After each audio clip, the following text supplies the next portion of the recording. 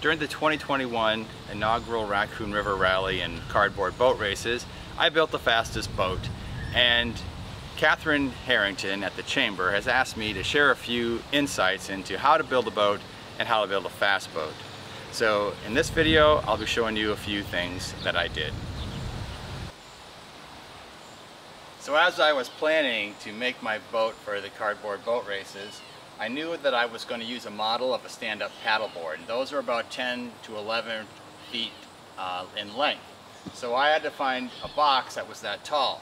But I couldn't find one box that was that tall, but I found two boxes. And you can see here, this piece of tape shows where the two boxes are taped together.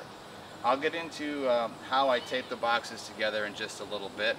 Um, but a couple of things about the cardboard. I found a furniture box that came from overseas. It was a triple wall cardboard, very uh, thick and resistant to collapse.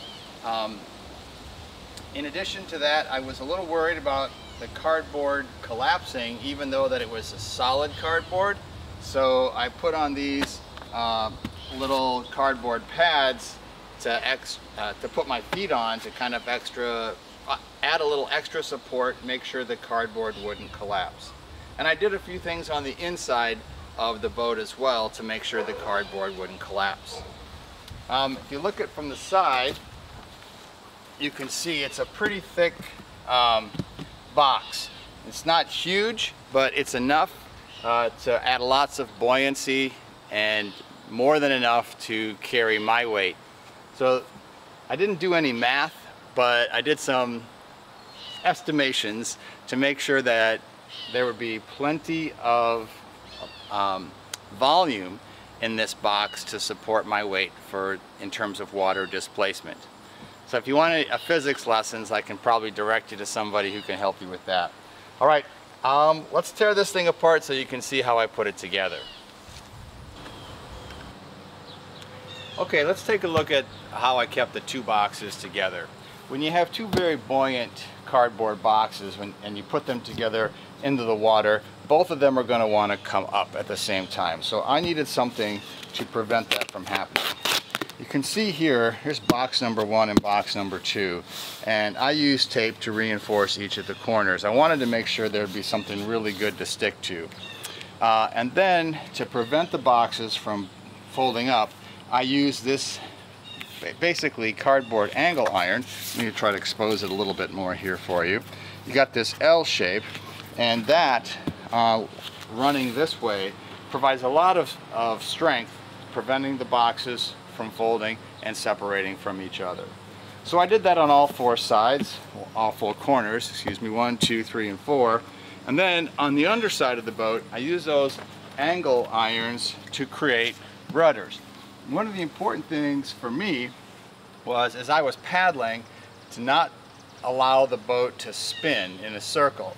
So by creating some rudders like this, um, it every stroke of the paddle kept the boat moving somewhat in a forward direction. It's not perfect, and the bigger these were, the, the better they, they would have performed, but I just used some tape to cover them up and tape them to the bottom. Another word about the tape is it allowed this boat to float not only on the day of the race, but I've used it several times since then. Um, it it's not perfect, it isn't completely waterproof, but it does help um, keep you afloat, floating long enough to finish the race. Another problem that I was trying to avoid was having the weight of my body collapse the cardboard box. So there was a buoyant force pushing the boxes up and my weight pushing down. I thought these boxes are going to collapse as soon as they get wet. Um, Again, I did use this really thick, and you can zoom in here to see the, uh, the cardboard, how dense and thick it is. It's very heavy cardboard. But still I had those concerns. So inside the boxes, I opened the boxes up, and I used uh, cardboard structures that I found, again in a furniture box. These uh, are designed to prevent crushing from happening um, during shipment. And I took these and put them on edge and taped them in place and ran them all the way through the boxes. Um, I put a few on the ends, but mostly I put them in the middle. This is the front of my boat, so I didn't intend to stand up there, but I was standing in this section, so this is where I put the reinforcements.